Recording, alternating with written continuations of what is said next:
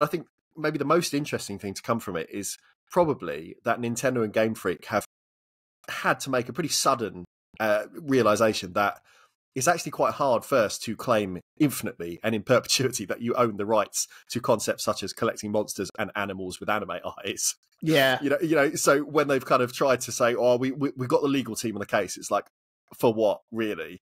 You know, and, unless there is an outwardly stolen design, Uh, what what can you copyright in there? yeah, And I think it's interesting as well because they've had so long to modernize Pokemon to give it, you know, time to breathe and evolve, and instead they've driven their own flagship property into the ground by all accounts.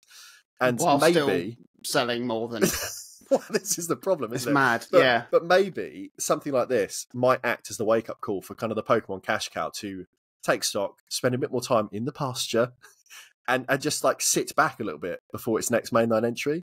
Yeah. Because Nintendo and Game Freak could do all this stuff better if they wanted to relift any of these elements back to their own property.